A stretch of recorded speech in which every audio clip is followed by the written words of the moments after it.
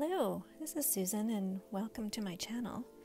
Uh, today we're going to paint this delightful peach on a 4.5 molded stone from the Happy Dotting Company, and I just put on one coat of black gesso. This is an optional step. I wanted to just put on some little background iridescence just to see what that would look like, but uh, by all means, you don't have to do this. It does make it a little harder to see um, what I'm doing in the video, but I do try to change the angle so that you can see the dots.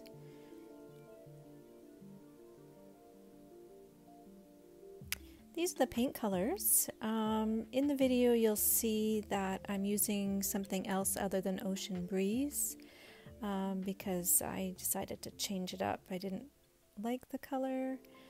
Um, this is the one I didn't like. It was too yellowy, so I changed it up for Ocean Breeze. Uh, and you'll see that later on in the video.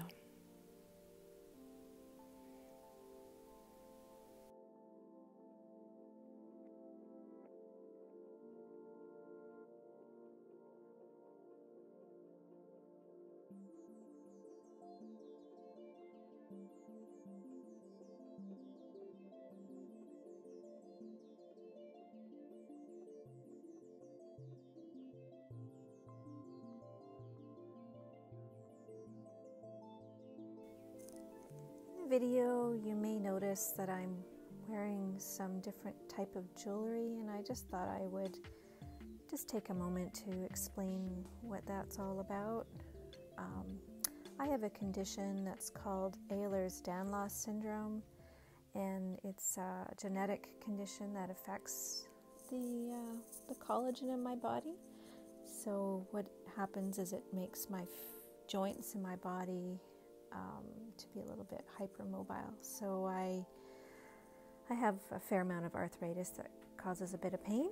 So I wear these um, braces on my fingers, uh, thumb to keep the joints from falling in and out.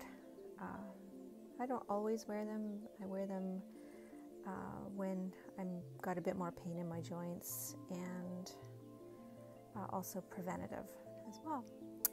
Uh, so that's what that's all about, and I'll just let the music play out for now.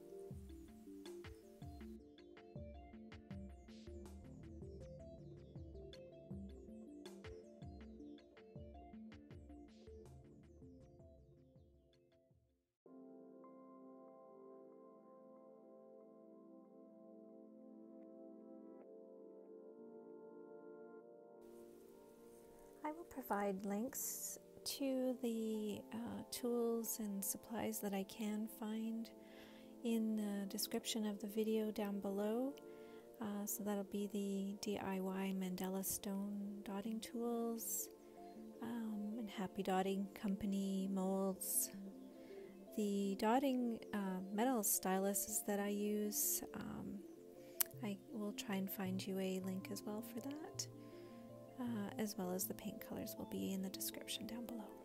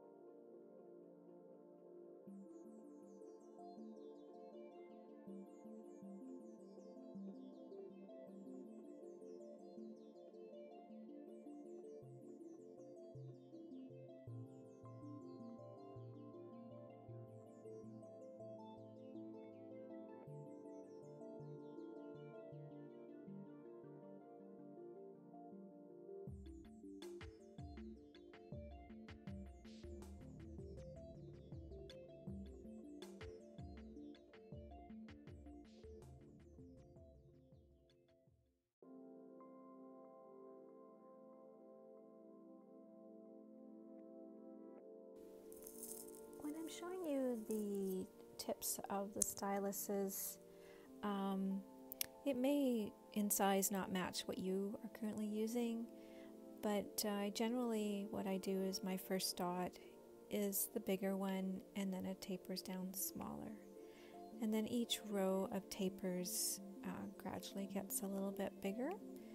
Um, so hopefully that helps you uh, in picking your tool size.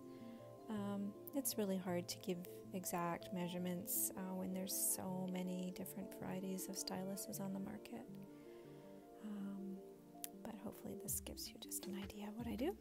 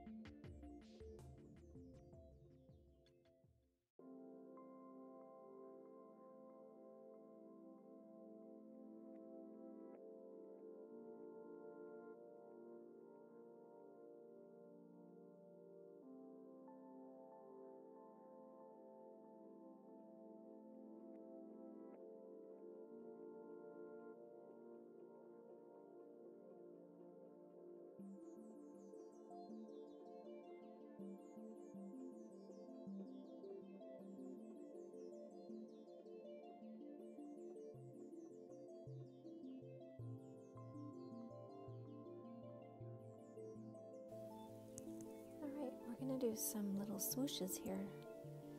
So I like to load up my stylus quite a bit and then just drag it gently across the surface of the stone. You'll see here that I will go back over top of it. When I'm doing this, I'm not actually pressing down. What I'm doing is allowing that paint just to flow over the surface of that previous swoosh, just very, very gently to deposit a bit more paint.